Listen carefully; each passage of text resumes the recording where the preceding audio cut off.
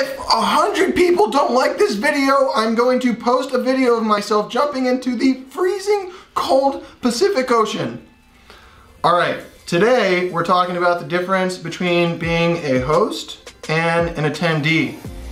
As someone myself who fits into the artist category, the product category, the creator category, I sometimes need hundreds of hours in the office just working on stuff.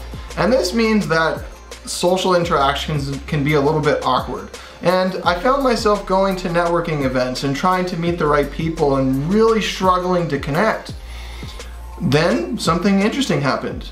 I started a meetup group. I started to invite people, the people I wanted to become friends with, to these events. And then they saw me as a, a, a leader and that changed the dynamic of how the conversation went. It went from I'm trying to meet them to they're trying to meet me. And this was an incredibly powerful tool for building relationships.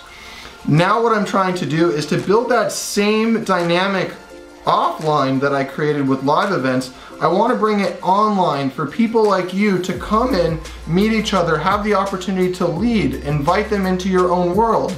And I think this is going to change things pretty radically. Because um, if we can create what I felt in a physical setting over five years, every single month, 400 people a month, if we can do that online, I think we've got something pretty special. So I want to show you how to become a host and not an attendee.